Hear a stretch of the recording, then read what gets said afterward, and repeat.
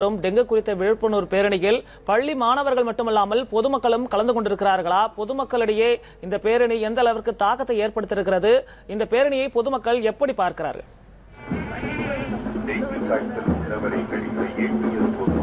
ஆரோக்கியமானவர்களை கடிக்கும் பொழுது ஒருவரிடத்தில் மற்றவர்கள் நிச்சயம் மகேஷ் அதாவது தற்போது நம்ம முக்கியமான கோவையில் பிரதான சாலையாக இருக்கக்கூடிய முனிசிபாலிட்டியில் பாலசுந்தரம் சாலையிலிருந்து அந்த பேரணி துவங்கியிருக்கிறது முக்கியமாக பொதுமக்கள் அதிகமாக இந்த வா இந்த பகுதியில் தான் நோக்கி செல்ல முடியும். அந்த அளவிற்கு ஒரு பிரதான சாலை.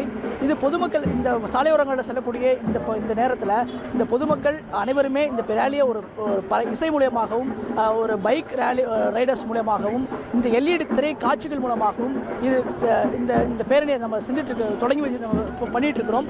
இதனால் வந்து வந்து இந்த இந்த பகுதியில் உள்ள அத்தனை பேருமே அதை வாட்ச் பண்ணிட்டு போகிறாங்க அது மட்டும் இல்லாமல் ஒரு சில சமூக ஆர்வலர்களும் இந்த இந்த பேரணியில் தானாகவே முன் வந்து கலந்துக்கிட்டாங்க குறிப்பாக இந்த இந்த பேரணியான தற்போது முக்கியமான இந்த இடத்துல பாலசுந்தரம் சாலையிலிருந்து சிடிஓ காம்ப்ளெக்ஸ் அந்த பகுதியில் வந்து அடைஞ்சிருக்கு.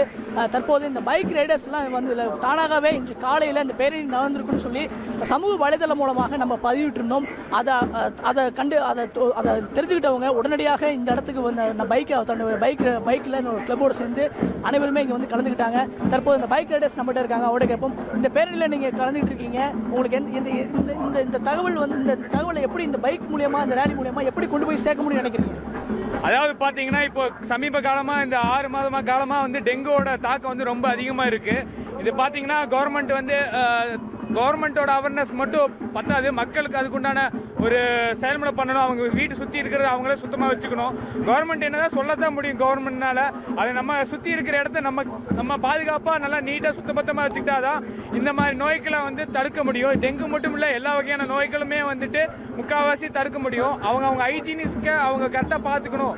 அப்படிங்கிற ஒரு விழிப்புணர்வுக்காக தான் நாங்கள் எங்கள் கிளப்பு கோயம்புத்தூர் ராயல் ஃபீல்ட் கிளப்லேருந்து இந்த ரேலிக்கு வந்து நாங்கள் முனிசிபலுக்கும் நியூஸ் செவனுக்கும் ஆதரித்து வந்திருக்கோம்.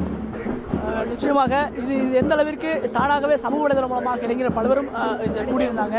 அவர்களுமே வந்து இந்த இந்த இடத்துல இந்த இந்த பேரணியில் தானாகவே முன் வந்து கலந்துக்கிட்டாங்க தற்போது இந்த கல்லூரி மாணவர் ஒருத்தருக்கு அவரை கேட்போம். தம்பி தம்பி வணக்கம். இந்த பேரணியில் கலந்துக்கிட்டு இருக்கீங்க. உங்களுக்கு நீங்கள் என்ன கற்றுக்கிட்டீங்க இதை எப்படி போய் பொதுமக்கள்கிட்ட உங்களுக்கு சுற்றுப்புற இருக்கிற மக்கள்கிட்ட எப்படி போய் கொண்டு போய் சேர்ப்பீங்க? என் பேர் அருண்குமார் எஸ்விஎஸ் காலேஜ்லேருந்து வர ஃபைனல் இயர் படிச்சுட்டு இருக்கேன் அதாவது இப்போ வந்து நான் வந்து எதுக்கு தெரியுமா இந்த இதுக்கு வந்தேன்னா கடந்த ஒரு ஒரு ரெண்டு மாதமாக பார்த்தீங்கன்னா தமிழ்நாட்டில் உயிரிழப்புகள் ஜாஸ்தி. எதனாலன்னு பார்த்தோன்னா டெங்கு காய்ச்சலாக தான் ஜாஸ்தியாக இருக்குது ஏன் டெங்கு காய்ச்சல் வருது?